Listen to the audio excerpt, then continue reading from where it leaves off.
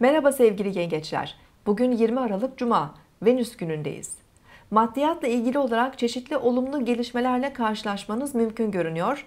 Parayla ilgili görüşmeleriniz istediğiniz sonuçları verebileceği gibi ev bütçenizde bazı düzelmeler, gelirlerinizde doğrudan artışlar da söz konusu olabilir. Burcunuzu dinlediniz. Bugün 20 Aralık Cuma, Venüs günündeyiz. Yengeç burcunda ilerleyen ay sabah 6.38'de Venüs'le karşıt açı yapacak ve ardından boşluğa girecek. Kısa bir süre sonra ay 8.49'da Aslan burcuna geçiş yapacak. İki gündür etkili olan duygusal hassas enerjiler bugün biraz daha dışa dönük olabilir.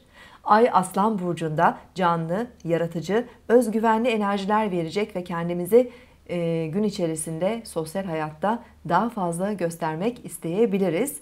Öğle saatlerinde Ay Mars'la olumlu görünüm yaparak enerjimizi arttırabilir.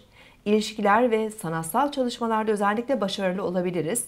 Bugün ikili ilişkiler, romantizm alanında daha girişken davranabilir, çeşitli fırsatlarla karşılaşabiliriz.